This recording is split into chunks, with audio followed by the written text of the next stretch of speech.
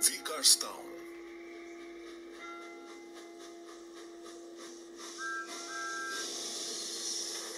Você já desejou poder fazer coisas que seus amigos podem fazer? Eu sei que eu sim. Às vezes, eu sinto que não é justo que eu não possa fazer todas as coisas.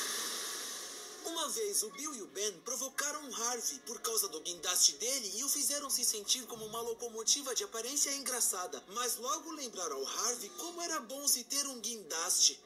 Isso significava que ele podia fazer algo muito útil, na verdade. A Rebeca não conseguia pensar em nada que a fizesse especial, até que ela parou de se comparar com as outras locomotivas e percebeu que ela faz algo muito importante. A Rebeca vê o melhor em todos.